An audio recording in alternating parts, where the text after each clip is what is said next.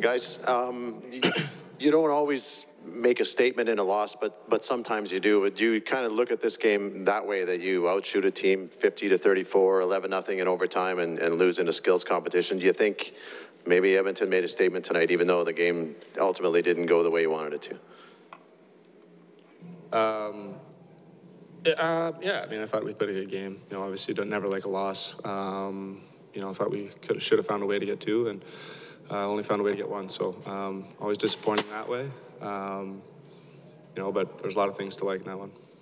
Uh, that overtime was something else. I mean, I mean, some of it was on a power play, but it was still 11 nothing. Can you kind of just describe that that frantic five minutes there, where it looked like you guys had probably half a dozen chances to knock one in? Yeah, lots of looks. You know, four and four and threes are tough. Um, you know, they really are. I think they're one of the harder power plays. Um, you know, but I thought we got a lot of good looks and just couldn't find a way to bang one home.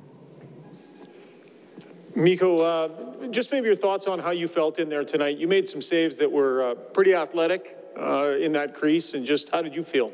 Uh, I, I, felt good, and the uh, team played like really well, like front of me. That makes makes my job pretty easy, and uh, it was like a playoff kind of game. There wasn't too many quality chances, and um, I really like how how we played tonight. Connor, your coach has talked a couple times now about the way you guys are playing for one another in his eyes. He's, he sort of sees that in your group that that element is is very much there. Do you agree with that? How do you, you know, what do you see on, the, on that front?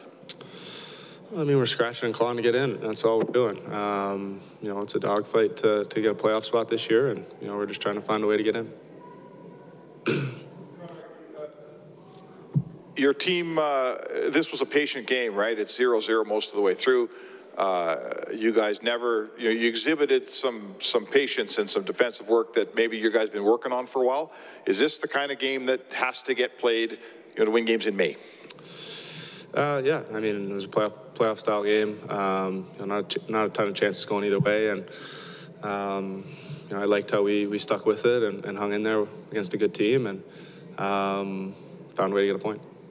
Um, Mikko, uh, you and Mike Smith are both at the very top of your game here right now.